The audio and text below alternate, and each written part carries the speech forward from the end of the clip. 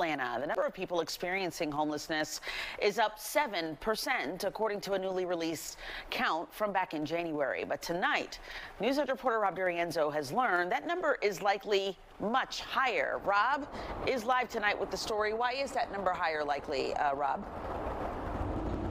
Hey there, Christine. Good evening to you. Well, these numbers show that the homeless crisis here in Atlanta is heading in the wrong direction. I spoke with one council member who herself experienced her own housing crisis. She says the city needs to step up to the plate. When I was 18 years old, I experienced housing instability. I stayed in and out of my car. I stayed on sofas. That's why Council Member Liliana Bakhtiari was especially upset to see an uptick in Atlanta's houseless population. That's according to the 2024 count from the nonprofit Partners for Home. That's the organization that leads the city's homeless strategy. We are seeing people who are living at the lowest end of the income spectrum um, increasingly fall into our system. Executive Director Cathryn Vassell says at its core, the problem is the housing market.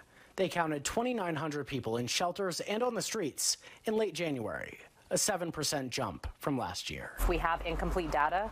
Councilmember Bakhtiari says while this count is helpful, it doesn't tell the whole story because people tend to be less visible in the winter months. We need additional information, especially during hotter months when chances of, of health issues or heat related deaths can occur. It's not a perfect number by any means. Vassell says the federal government requires the official count of people battling homelessness to take place in January, at least once every two years, but they do it yearly. Bakhtiari is now exploring legislation to make it twice a year. I don't know how much of a greater impact um, it would have to do multiple counts per year. It is logistically um, a very big endeavor that we put off with, you know, over 300 volunteers. Vassell says it costs about $20,000 to do a citywide point-in-time count.